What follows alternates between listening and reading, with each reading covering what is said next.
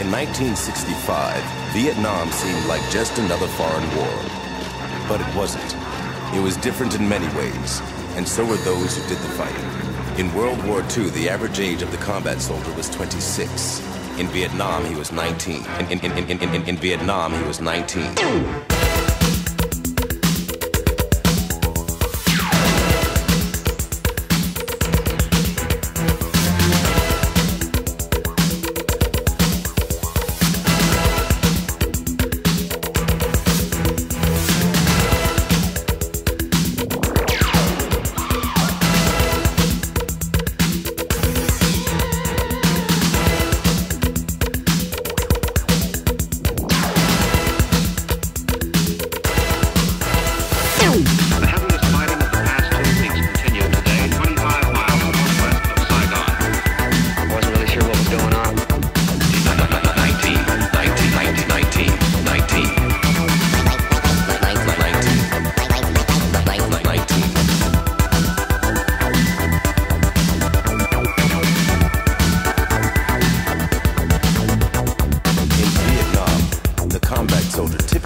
Served a 12-month tour of duty, but was exposed to hostile fire almost every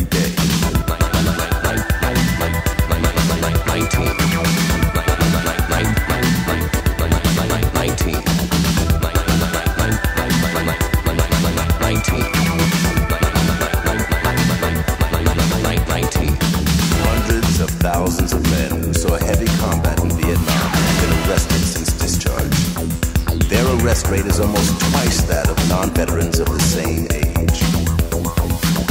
There are no accurate figures on how many of these men have been incarcerated, but a Veterans Administration study concludes that the greater a vet's exposure to combat, the more likely his chance of being arrested or convicted.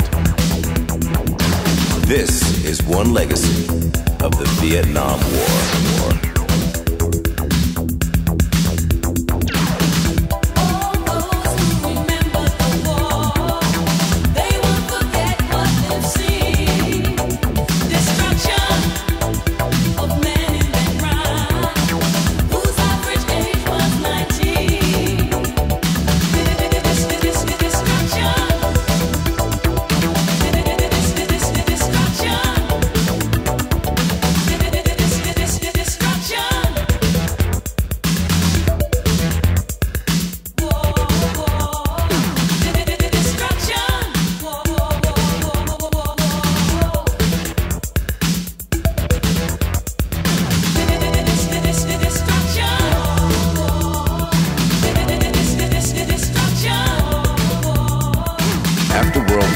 the men came home together in troop ships. But the Vietnam vet often arrived home within 48 hours of jungle combat.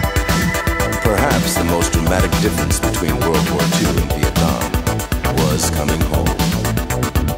None of them received a hero's welcome. None of them received a hero's welcome. None of them. None of them. None, none, none, none.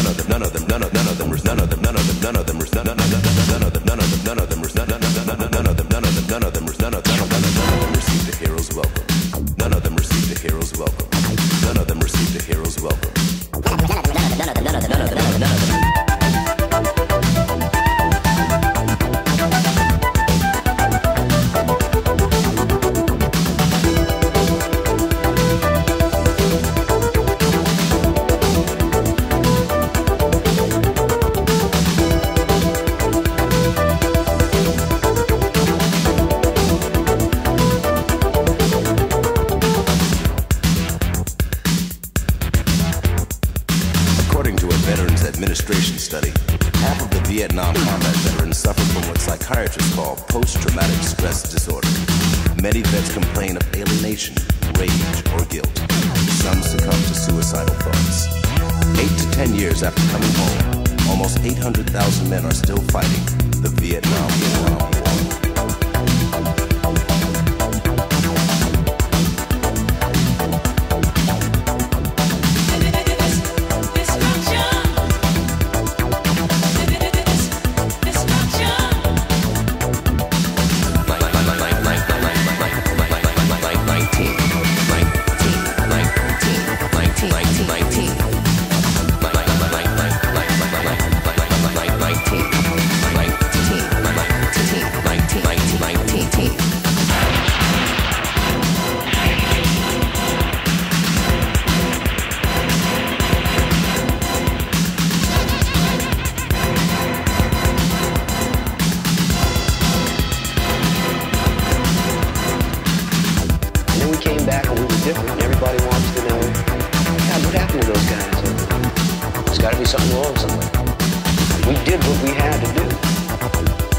There's got to be something somewhere. And people wanted us to, to be ashamed of what it made us. They have no idea what it meant for five, ten years now.